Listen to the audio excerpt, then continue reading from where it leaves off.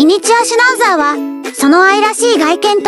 活発な性格で人気のある犬種ですが、飼う際には、いくつかのデメリットも考慮する必要があります。ミニチュアシュナウザーのデメリットを詳しく説明します。頻繁なグルーミングが必要。ミニチュアシュナウザーは、ダブルコートの引けを持ち、特に外側の毛は、ワイヤーのように硬く、絡まりやすいです。そのため、毎日のブラッシングが必要です。また、月に一度のシャンプーと、2ヶ月から3ヶ月に一度のトリミングが推奨されます。これを怠ると、毛玉ができやすくなり、皮膚の健康にも悪影響を及ぼす可能性があります。吠え癖がつきやすい。ミニチュアシュナウザーは、警戒心が強く、番犬としての役割を果たすことが多いです。そのため、知らない人や恩に対して吠えることが多く、無駄吠えが問題になることがあります。このため、早期のしつけが非常に重要です。運動量が多い。この犬種は非常に活発で、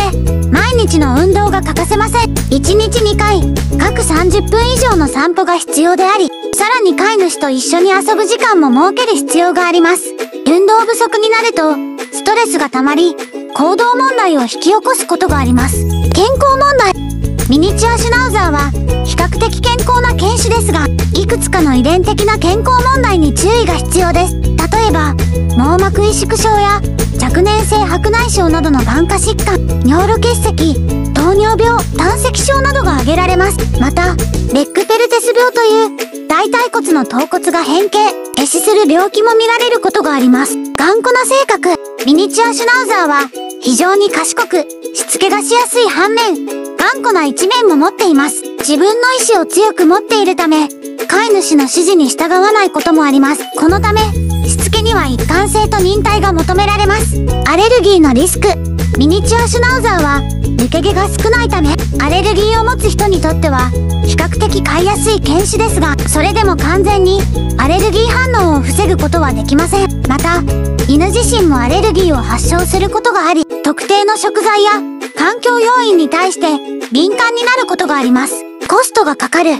ミニチュアシュナウザーの購入費用は他の犬種と比べて平均的ですが、定期的なトリミングや健康診断、予防接種などの維持費がかかります。特に健康問題が発生した場合には、治療費が高額になることもあります。ミニチュアシュナウザーは、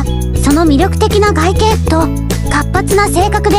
多くの人に愛されていますが、買う際にはこれらのデメリットを十分に理解し、適切なケアとしつけを行うことが重要です。これにより、ミニチュアシュナウザーとの生活を、